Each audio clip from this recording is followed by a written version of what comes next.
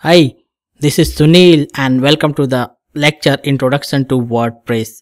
In this course, we are going to use WordPress 4.3 and it, this version has been released just 3 days back.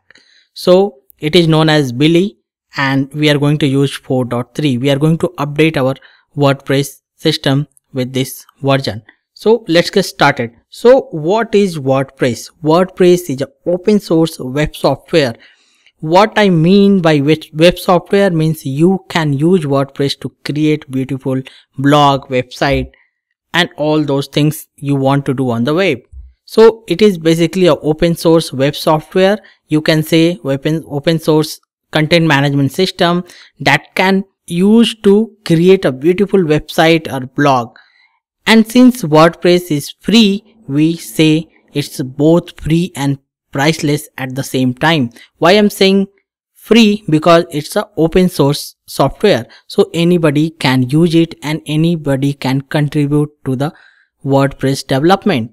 And it is priceless because there are lots of plugins lots of themes and you can use freely. You can use free of cost. You can create your website free of cost using WordPress. And that's why it is free and priceless at the same time because it provides priceless customizations, priceless varieties, priceless things.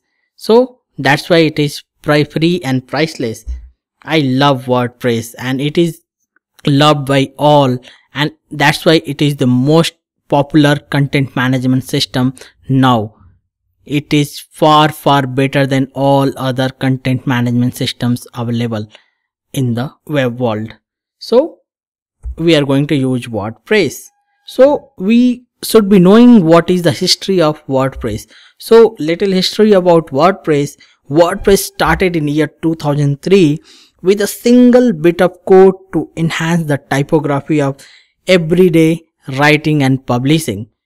So it was a aim to simplify the everyday writing and publishing on the web. Writing blog posts or publishing your content on the web. So it was started with the motto with the aim to simplify the things that we can easily write and publish our thoughts, our articles. So, and since then it has grown to be the largest self-hosted blogging tool in the world. Okay. So it is the largest self-hosted blogging tool, content management system in the world. So you may ask why to use WordPress? Very good question. Anybody can ask. So if you are new to WordPress, I'll say, I won't say anything actually. I'll show you this picture and look at this. Look at this graph. Around 48% of the blogs are running on WordPress platform and look at all other plat all other platforms and software they are contributing altogether 52% and WordPress alone 48% and that itself is saying why you should not use WordPress. Everybody should follow WordPress and everybody should use WordPress because it's a very popular very powerful and free. So 48% of the blogs are running on WordPress platform. And Few more facts about WordPress. Currently 66 millions of websites running on WordPress. 66 millions of websites. It's a rough estimate.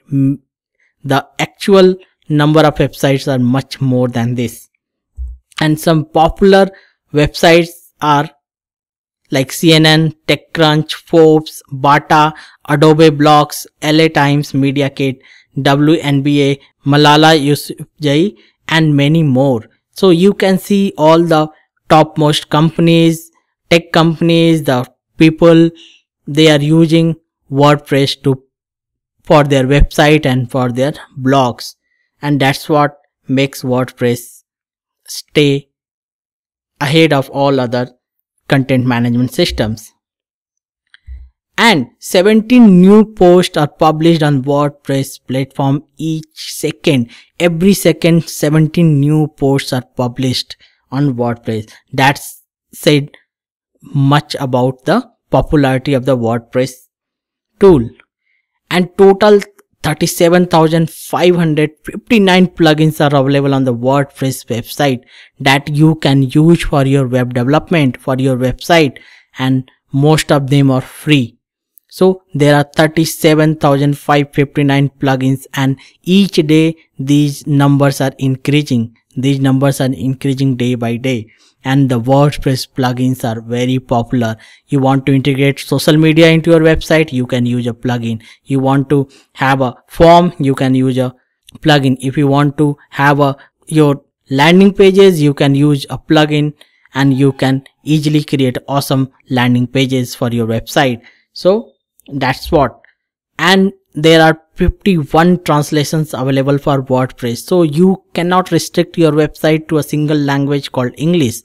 There are 51 languages supported in WordPress. So you can create a WordPress website. You can translate it into the any language of your choice. There are, it is supported by 51 languages.